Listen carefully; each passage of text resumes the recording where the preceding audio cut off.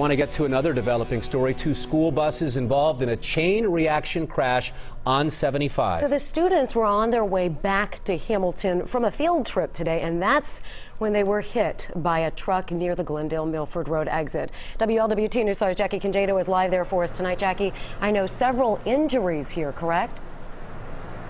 Yeah, Mike and Sheree, there were five children who were taken to area hospitals off one of those buses and also two adults inside the propane truck that hit one of those buses also transported tonight. But the good news, I'm told everyone involved in this is expected to be okay. We want to show you some video from earlier this afternoon right after this crash happened. We spoke with a parent who was on board one of those buses. She says about 80 Crawford Woods Elementary School second graders were on their way back from a field trip to the Children's Theater. She was chaperoning when they were bumped several times, as she put it. That's because police say this was a chain reaction crash. They say someone up ahead cut another car off, and that caused everyone to slam on their brakes. A tanker hit a propane truck and that propane truck hit one of the school buses, which then hit the second school bus ahead of it. That chaperone told us lots of kids were crying, but luckily, no one was badly hurt.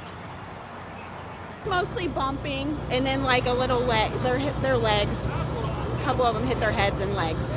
So I didn't see any blood except Miss Combs. She had a little cut on her face, and she was, and she was the cheeriest and most positive the whole time.